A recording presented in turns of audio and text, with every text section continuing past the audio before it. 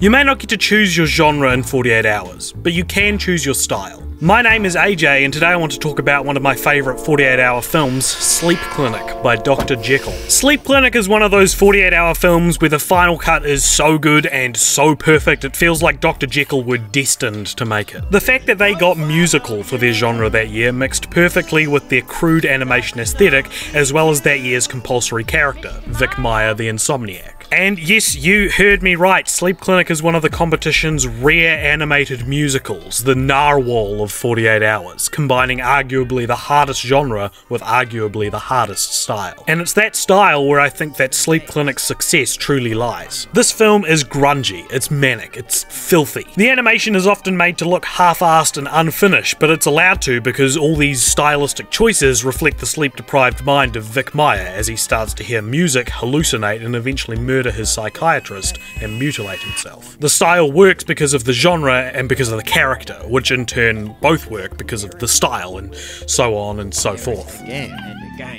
In my opinion, this is what a truly perfect 48 hour film should be something that works because it uses what the competition gives you with your own personal flavour. And sure, in this case, the flavour was animation, which isn't something every team is equipped for. But there are plenty of other styles, like narrative devices or filmmaking techniques that everyone is capable of, which could elevate your film. I think most traditional teams probably stick to some level of realism or hyperrealism, and hey, maybe that's just what your film needs to be. But it may be worth taking a moment to consider how your genre or character or whatever we get this year could inform the way you convey your story, and you may end up with another almost too perfect storm. Thanks for watching. If you like this and want to hear more of my voice, why not head on over to Cult Popture and check out one of my mini podcasts or video essays. This one about Batman goes excellent with a nice glass of Buffalo wing soda. And stay tuned for one last episode of my favourite 48 hour films.